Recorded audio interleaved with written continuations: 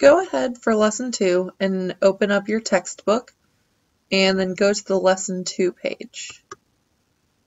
You can also click over here on the bookmarks so we can actually see the full screen of lesson two. So for lesson two, we're going to be talking about variables. So different types of variables. So for lesson two, we're only going to be covering strings, the int, which is an integer, and a double, which is a decimal. So if you think back to when we made hello world, hello world was actually a string. So a string is just any sort of letters that you have. So any phrases or just letters, addresses, anything like that would be an example of a string. So like in our previous code, very similar to this, we have our public static void main. Instead of only printing hello cruel world, you could set a string as a variable s and say s is equal to hello cruel world. But you have to establish that s is a string. Let's get an example go back into Eclipse and look at what you did for practice one. And while we're here, I am actually going to do a little trick. So come down below your last, your second to last bracket, select everything within your main, control C to copy, and I'm going to close lesson one, go to file, new Java project, and we'll call it lesson two. Click finish. Go ahead and expand and in the source. Hit a new class. We're going to call it practice 2. Go ahead and click finish. I'm going to reset my bracket. Remember to keep yourself organized for right now. And control V, paste it all in there. So it's a quick, easy way for us to actually get a code. So go ahead and you can run it, make sure it runs the same way. So 25 divided by 5 is 5. So what I'm going to do is I'm going to delete this last line of code. And I'm going to say system.out.print s. So now it has an error This cannot be resolved to a variable. So we have to set it up as a variable. So we're going to say string s equals whatever you would like it to say. So I'm going to say hello cruel world because that's what our book does. And remember, the one thing that you need for every single line is a semicolon, so make sure that that is in there. So now, we say string s is going to be hello cruel world, and then we're going to print s. So go ahead and run your program. And it pops up with Hello Cruel World.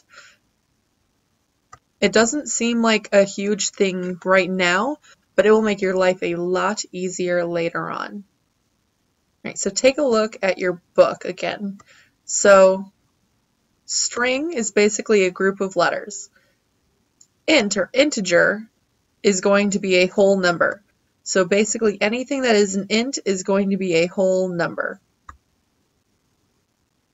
So say we have like int age is 59, and then you print age. So if you look back in Eclipse,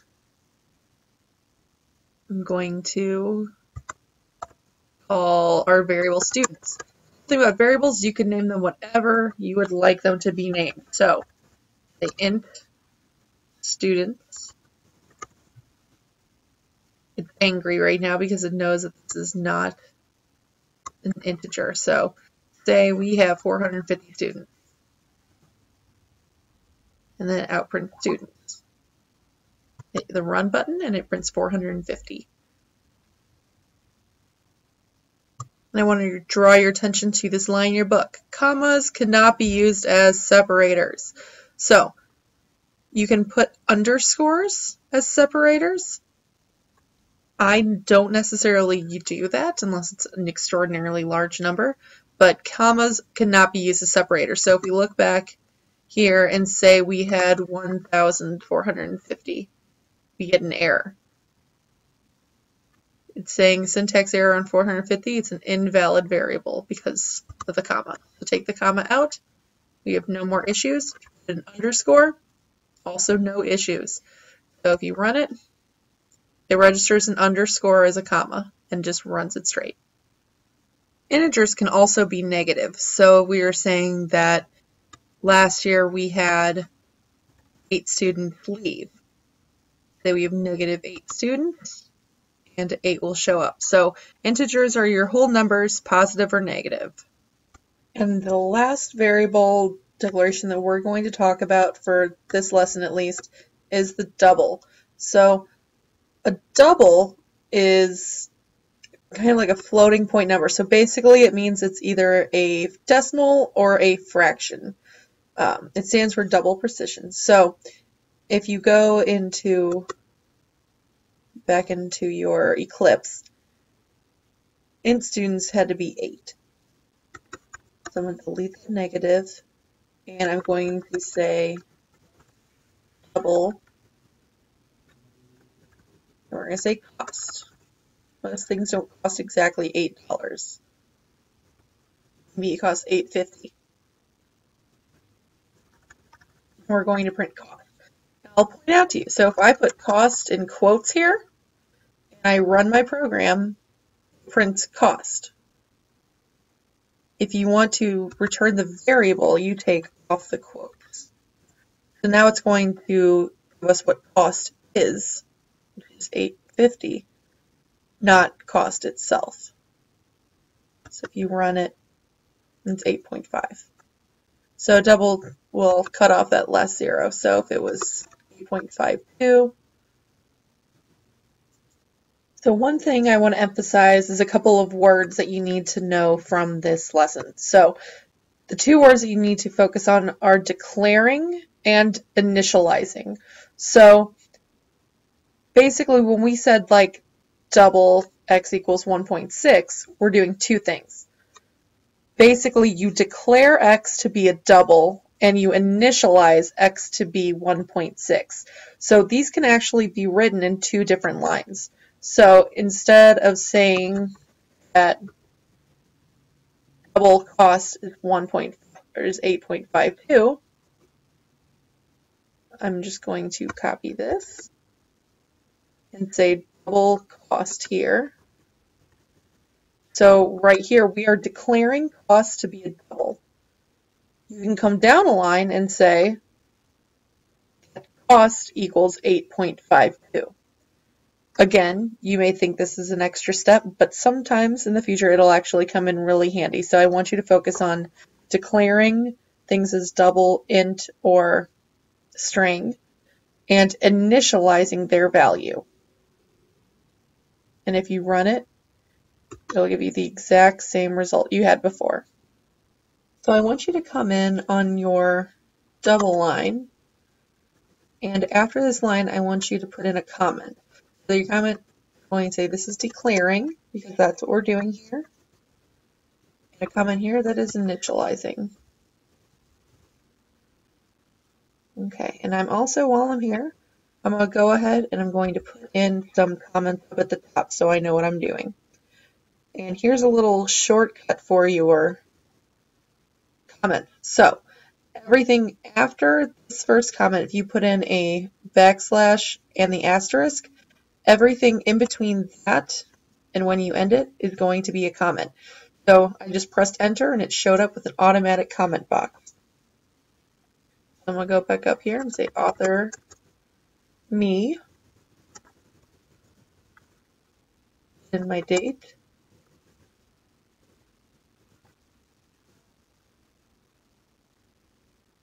Put in Blue Jay lesson, sorry, not Blue Jay, Blue Pelican, Java, lesson two.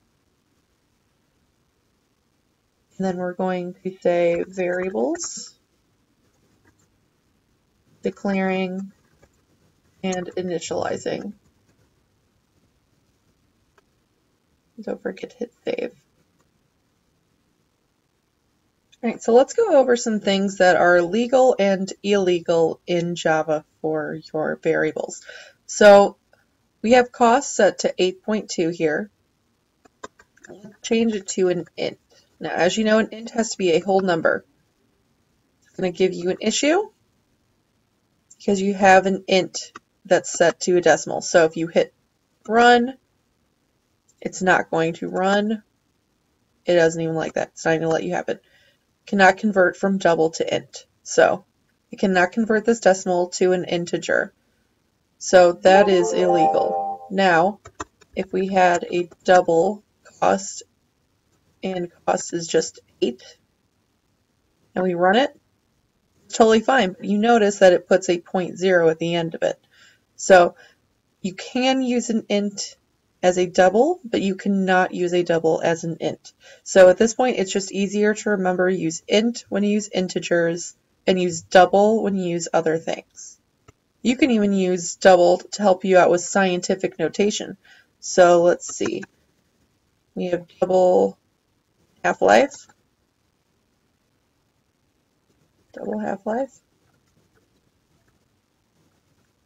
All right, and we make it 1.52 10 to the 20th power. All right, if I hit run, proceed, it doesn't like it. Something's wrong. So I set my, in, my double up here as half-life, and here is half-life, but I capitalize the L. So you have to be sure that capitals are important. Also, we have a half-life here, a half-life here, and we're printing cost.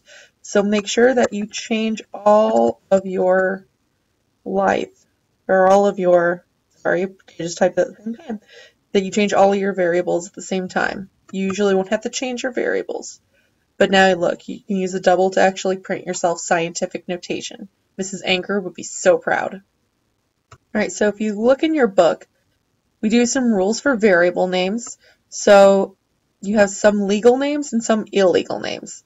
So basically, illegal names are names that are all numbers, but you can have ones that start with letters and then have numbers on them. So like you can have student one equals student two equals, but you couldn't just have one, two, three, four, five. You also can't start with a number or have a space. Um, you cannot have a decimal. The only punctuation that is allowed in your variable naming is an underscore. So keep that in mind. So with that being said, we do have some conventions for actually naming things, especially if you put two names in them. So lowercase first word and then uppercase the second word with no spaces, or you can use an underscore as a space instead for naming yourself.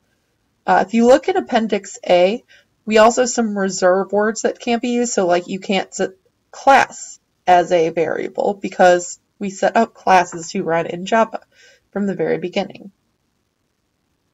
So basically, here's Appendix A with all of the words that you cannot use as your variables. There's not a whole lot of them. Most of them you'll be able to avoid. So I wouldn't worry about it and name your variables as descriptively as possible as you name them. So I know that the stuff that we covered in Lesson 2 is a little bit more difficult than from Lesson 1, but on Moodle, there's some questions for you to go through and answer. You can use this book to help you answer them if you need to. You can use a forum to help each other figure out the answers. So, good luck.